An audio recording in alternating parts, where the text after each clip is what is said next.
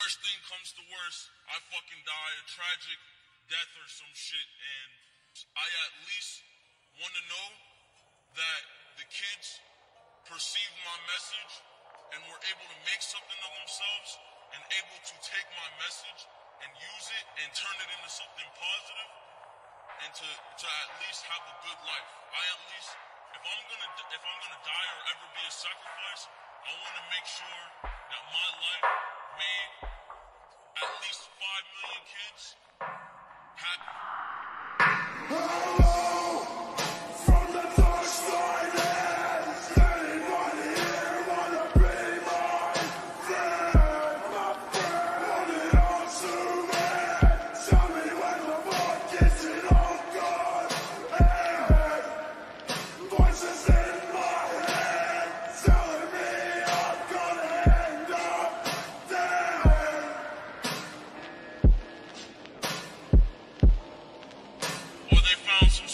circumstances are resolved in my life, regardless of the negative around my name, regardless of, of the bad things people say to me. I don't give a fuck because I know my goal in the end, and I know what I want for everyone, and I know what my message is.